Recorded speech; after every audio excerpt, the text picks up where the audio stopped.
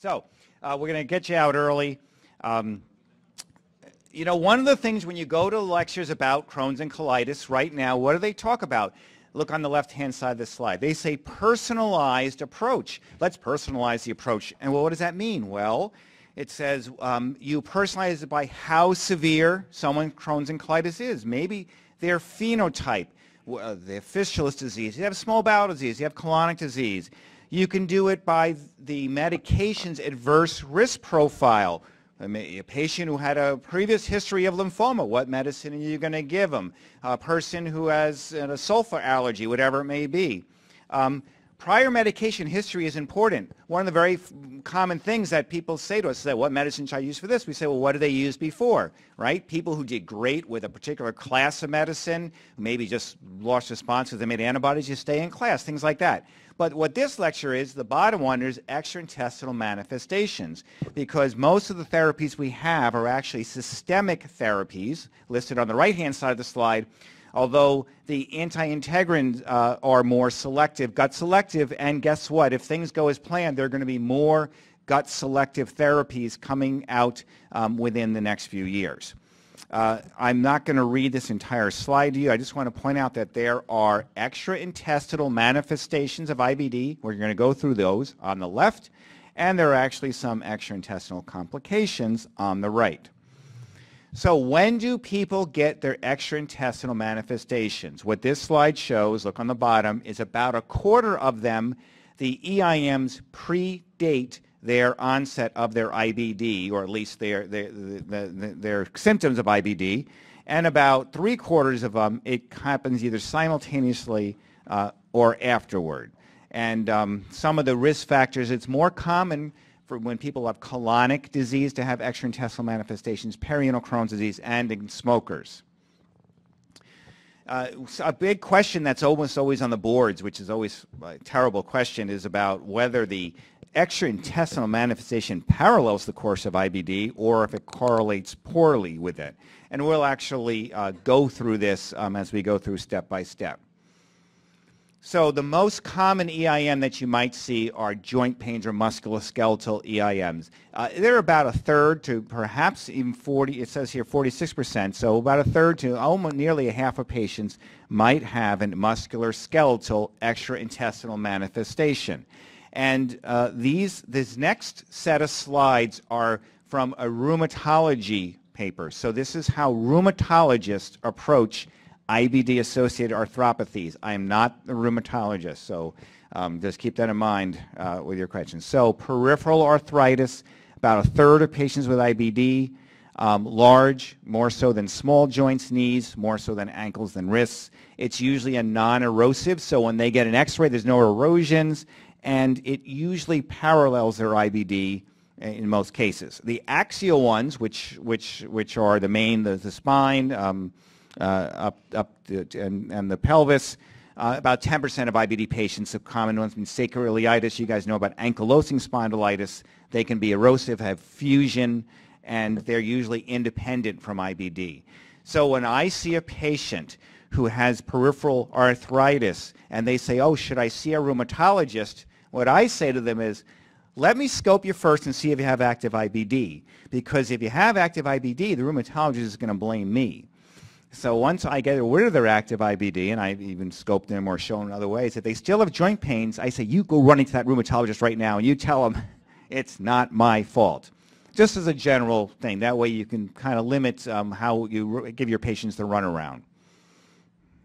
So what do the rheumatologists do? And notice I wrote per rheumatology, because they use a lot of NSAIDs.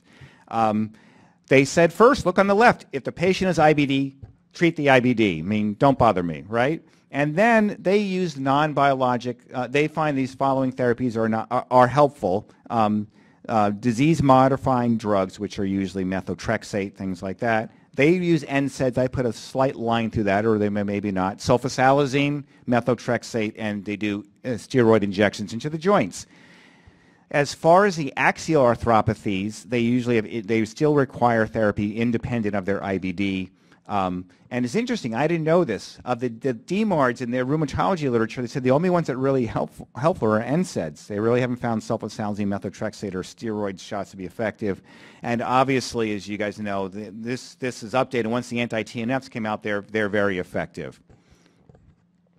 So the old paradigm, in which we learned a lot, so you have a patient with peripheral arthritis. They called it type 1, which is pauciarticular mostly large joints, and there are type 2 polyarticular small joints, and um, they don't use this anymore. Don't you love that when someone, you're like memorizing the slide, and like, oh, they don't use this anymore? Right, okay. So, sorry, just thought I'd throw that out there. So the new paradigm, according to rheumatology, is they say if they have a patient who has IBD with peripheral arthritis, First of all, they say if the, pa the, patient has active IBD, optimize the therapy and then come back and see me if you still have joint problems other than the ankylosing spondylitis and things. But um, if the IBD is in remission, they, they do lead their, their paradigms with NSAIDs and a PPI, then um, sulfasalazine, methotrexate, or, or steroid shots. Um, then they may add or switch the TNF the patient's on, uh, or maybe to a second TNF. So this is just kind of their thought process going through. So as far as the axial spondyloarthropathies, which are the spine uh, and, and the sacrum, uh, the first thing that they do is, is actually physical therapy. Send a patient to physical therapy for ver, uh, various exercises to help out with that, and they do, they do a two-week trial of NSAIDs. Uh, then if that's still an issue, they move on to anti-TNFs, and if that's still an issue, they switch TNFs. And then in the rheumatology world, they go, if the TNFs are failing, they go to IL-17 blockers, uh, secukinumab. As um, many of you know, I, for some paradoxical reason, these seem to exacerbate some patients' IBD. Uh, and there are some patients who did not have IBD who then developed it on these um, IL-17 blockers. In the IL-17 trials in IBD, um, the patients who got the IL-17 blockers seem to do worse than the patients who got placebo. So even though when you hear all these talks about interleukin 12 and 23 and they follow the pathways they actually work through blocking IL-17. Apparently, if you go to blocking IL-17, you can have uh, adverse outcomes in IBD. So if you see the, tele the television commercials, the direct-to-consumer ones that we love so much, when they do the IL-17 blockers, they like, don't give this to the patient as inflammatory bowel disease. Just like that. Ah, so what about NSAIDs? So for so many years we argued, do NSAIDs really cause IBD flares? Because the data really doesn't support that contention. Uh, in fact, it was really funny because I remember Charlie Sninsky and John Valentine in Florida. Um, we would have things. We say, "Oh, you can't give NSAIDs IBD," and they're like, "We're in Florida. Everyone's on NSAIDs, and we don't see any. We don't see any association uh, with it." And they may be right. I may be just case by case. Um, most of the studies were retrospective, case control. The Manitoba Registry did a large prospective study and actually found half their IBD patients used NSAIDs and they did not find an association with flares. And there's a meta-analysis shown also here, which the overall um, uh, uh, summary was that it was not associated with flares, although if you look at the um, the chart there, you can see it certainly was leaning towards um, pot potentially be associated with flares. So those are the studies. You can memorize those. We'll test you. Uh, that'll be the post-test question. COX-2 inhibitors, you know, we were doing a COX-2 study um, in patients with, uh, with uh, ulcerative colitis who were uh, in clinical remission when the whole COX-2 thing went down um, with the cardiovascular issue, so that study was halted. Um, the idea, as you know, with COX-2 inhibitors is that they have less GI toxicity. Um, COX-1 um, is the gastrocytoprotective effect. So if you give a nonspecific NSAID, you can get stomach ulcers, gastric ulcers. But in the this is not the IBD trial. This is just a regular trial in RA patients. They showed if you use a COX-2 inhibitor, you have two-thirds less GI uh, bleeding and complications compared to ibuprofen. So that's why um, in GI world we like COX-2s better than the non-selective ones. There have been two published randomized controlled trials of COX-2 inhibitors in IBD. Bill Sandborn and group um, looked at UC patients in remission and actually had similar relapse rates with celecoxib and placebo. And then El Miedany et al. Um, looked both in UC and Crohn's, and they actually did not find a difference um, with this um, coxib versus placebo too. Uh, I think um, clinically, I've had most of my patients who have had you know, COX-2 inhibitors have been fine. Occasionally, though, I have had some that say whenever they take it, their IBD flares. And you may find the same in your patients with NSAIDs or with COX-2 inhibitors, too. So um, in uh, patients who have active IBD that's refractory, um, again, this is um, what the um, uh, kind of rheumatology or pharmacology um, look at, is they're leaning much more to um, the anti-TNF therapies. Um, there are multiple approved anti-TNF therapies, as you know, in the United States and Europe. And then typically, they, especially in the rheumatology world, they seem to like different ones than we do. Um, if you talk to a rheumatologist, um, their experience has been different than ours, so they often might switch to a different anti-TNF. So we always say if the patient is on an anti-TNF, and they have good levels and no antibodies and they have active disease, you leave that family. In rheumatology, apparently they try a second anti-TNF. Um, and whenever you ask them about therapeutic dose monitoring, they say they don't use it. Any rheumatologists in the crowd? they, always, always say that to us. Um, and uh, as I already mentioned, the IL-17s are off the table. Steve Hanauer earlier this day, uh, this long day, uh, mentioned the etanercept. The, the Enbrel etanercept data really didn't pan out for IBD, especially endoscopically. It may be a dose issue, but um, it's probably not going to be pursued that way. Um, so what are we looking at now? Ustekinumab um, is approved for psoriatic arthritis, and they have mixed results in ankylosing spondylitis. And then tofacitinib, um, is approved for psoriatic arthritis and rheumatoid arthritis, and they have some phase two study that was positive in ankylosing spondylitis. So for your patients who have TNF refractory arthritis, these may be um, suitable options. What about vedolizumab? A lot of people said, oh, vedolizumab, the patients who used to have joint pains when they were doing well, they'll come back and haunt them. Well, what's the data behind it? We're all talking about how gut selective it is. Well, this is a large prospective study in France. Patients, 200, nearly 300 patients mixed with IBD. 16% um, at baseline had inflammatory arthritis. And then looking at this graph, so of the patients who had inflammatory arthritis who were started on vedolizumab, one-third to one-half of them had clinical remission of their inflammatory arthritis. So if patients, unless patients have a separate rheumatologic disease, rheumatoid arthritis, psoriatic arthritis, it seems that the best data so far suggests that patients who have arthritis driven by their gut may do well with vedolizumab. Dermatologic extraintestinal manifestations, erythema nodosum, patients describe it all the time to you. You can also see this on rapid steroid taper. It almost always is easier to treat in parallels the IBD course. Pyoderma gangrenosum can be tougher. You often have the multiple approaches, and it doesn't always parallel the course, although sometimes it does.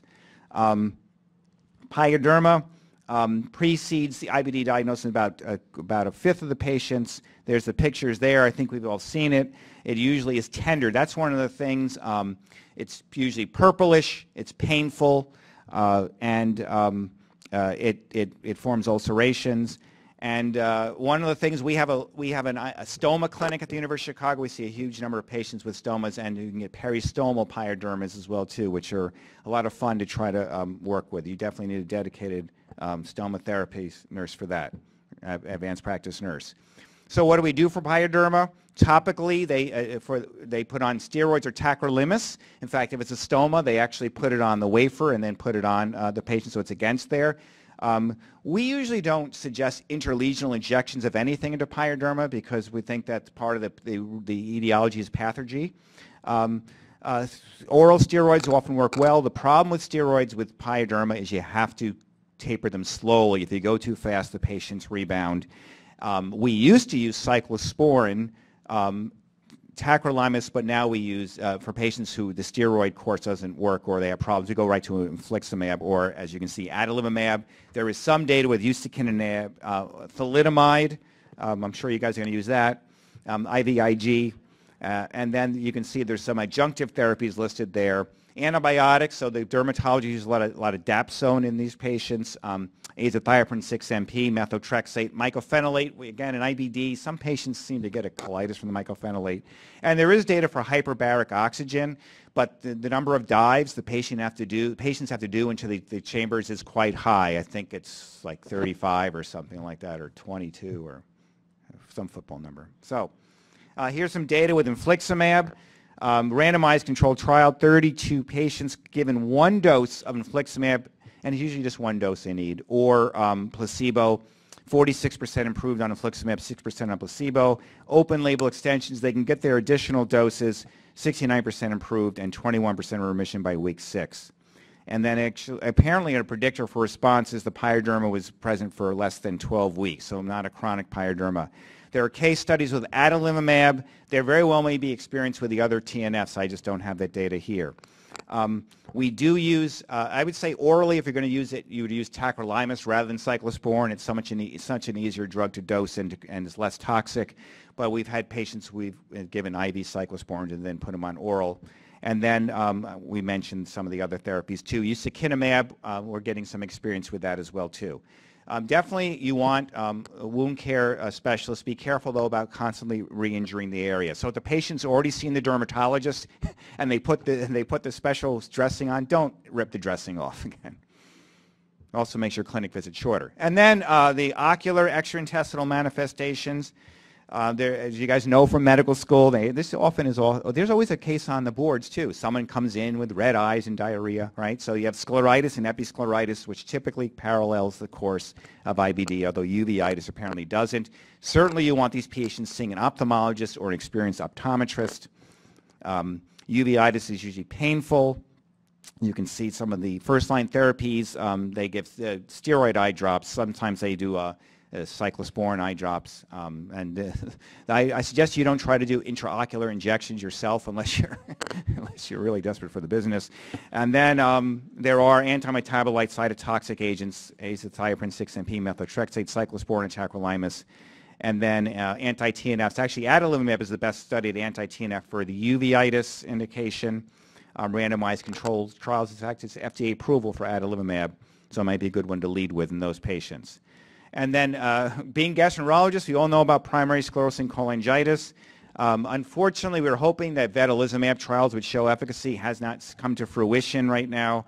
Um, and just as a reminder to you, if you have patients with ulcerative colitis or Crohn's disease who have PSC, they need annual surveillance colonoscopies. That's four quadrants every 10 centimeters, additional biopsies from any bumps or lumps, or chromoendoscopy every year. That's a, that is a board's question, and it will remain a board's question, I'm pretty sure. So in summary, we talk about personalizing approach to disease, so you should consider, you ask your patients, do you have extraintestinal manifestations? You go through that because that can also help guide your therapy. And then as we get to more of these gut selective therapies, we'll have to see if they're effective in these patients. Um, and uh, as moving forward here, um, what you do is if they parallel IBD activity, you optimize the IBD therapy.